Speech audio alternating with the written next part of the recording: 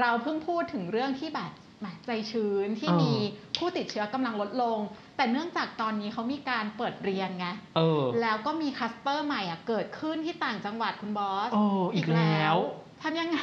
อืมคืออืมไม่น่าจะเกิดขึ้นเลยนะคะอ๋อแต่ว่าก็เป็นเรื่องราวที่เกิดขึ้นที่จังหวัดเลยเออเป็นคลัสเตอร์โรงเรียนประจำที่อำเภอวังสะพุงค่ะครับณตอนนี้เขาพบนักเรียนประจำนะติดเชื้อเออแล้วเนี่ย36 ราย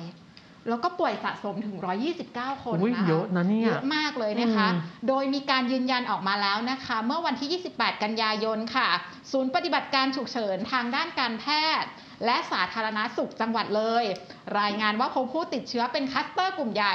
ของนักเรียนและบุคลากรโรงเรียนราชประชานุเคราะห์ 52 ตั้งอยู่ในอำเภอวังสะพุง ซึ่งเป็นโรงเรียนกินนอนก็คือโรงเรียนประจำนั่นเอเองอคือโรงเรียนประจำค่ะ โดยพบว่ามีนักเรียนทั้งชายและหญิง รวมทั้งคุณครูพ่อครัวในโรงเรียนติดเชื้อเพิ่มอีกนะคะ แล้วก็รวมมียอดผู้ติดเชื้อเนี่ยทะลุก็คือหลักร้อยอืมฉะนั้นเนี่ยก็มีข่าอ่ามีข่าวออกมานะคะ แล้วทางผู้อำนวยการโรงเรียนค่ะเขาก็ออกมาเปิดเผยว่าณตอนนี้สภาพของโรงเรียนเนี่ย เป็นโรงเรียนแบบกินอยู่ภายในโรงเรียน จะมีหอพักแล้วก็มีนักเรียน 13 เรือนนอนอืมซึ่งในขณะนี้โรงเรียนได้มีมาตรการที่จะกักตัว แล้วก็คุมเข้มตามหลักการของสาธารณสุขอืมโดยการกักตัวนักเรียนทั้งหมดนะคะ รวมทั้งคุณครูและบุคลากรภายในโรงเรียน แม้ว่าบางท่านจะมีบ้านพักอะอยู่นอกโรงเรียนครับก็จะต้องถูกกักตัวในโรงเรียนทั้งหมด คือเอาง่ายอืมๆติดก็เชื้อคือเรียกแล้วง่ายๆว่าห้ามออกไปไหนควบคุมพื้นที่ใช่อืม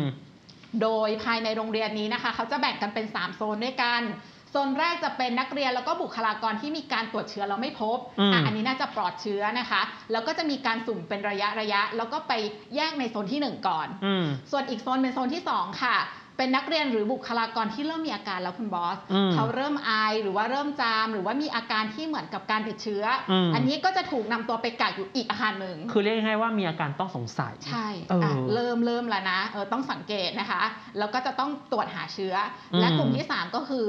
เป็นกลุ่มที่จะต้องแยกไปอยู่ในศูนย์ CI ก็คือ แน่นอนแล้วว่ามีการติดเชื้อนะคะอืมก็จะต้องคือกักไปพอีบกโซเชื้นอหแล้นึ่วงใช่ โดยคาดว่าการติดเชื้อภายในนี้นะคะ หลังจากที่เกิดขึ้นแล้วเขาก็ได้มีมาตรการออกมาก็น่าจะเบาบางลง เนื่องจากว่าโรงเรียนเนี่ยได้พยายามที่จะควบคุมสถานการณ์ ให้อยู่แต่ภายในโรงเรียนเท่านั้น แล้วก็มีการควบคุมการเข้าออกอย่างเข้มงวด ทั้งนี้ทั้งคุณครูเจ้าหน้าที่นะคะ แพทย์พยาบาล แล้วก็ผู้ปกครองต่างๆเนี่ย ก็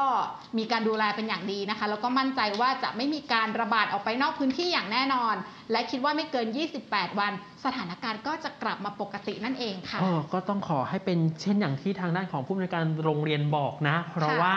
อีกอย่างหนึ่งเลยเนี่ยจังหวัดเลยเนี่ยเป็นหนึ่งในระยะที่หนึ่งใช่เป็นระยะที่หนึ่งที่ทางด้านของสบคเขาได้มีการกำหนดว่าจะมีการเปิดตั้งแต่วันที่ 1 ถึงวันที่